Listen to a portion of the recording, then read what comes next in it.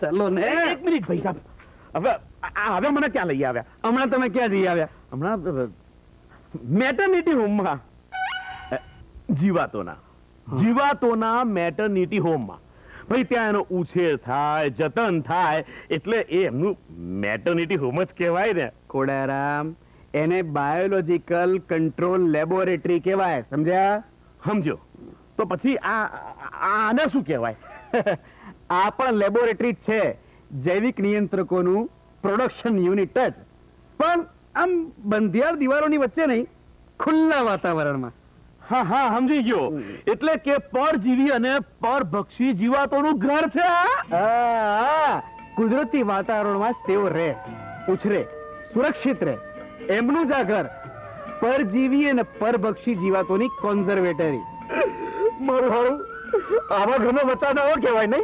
અને માટે જ આપણા ગુજરાતના ખેડૂતો એના પર ગૌરવ પણ લેવું જોઈએ. હા. કેમ?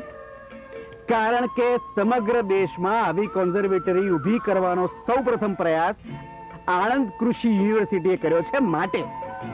તો ચાલો હું જાઉં. એ, ક્યાં જાવ છો? હવે આ સાહેબોએ આવું સારું કામ કર્યું તો એમના આપણે જઈએ છે સાહેબ પાસે જાણવા અને આમને જણાવવા. જીવાતો દ્વારા જીવાતોના નિયંત્રણ વિશે.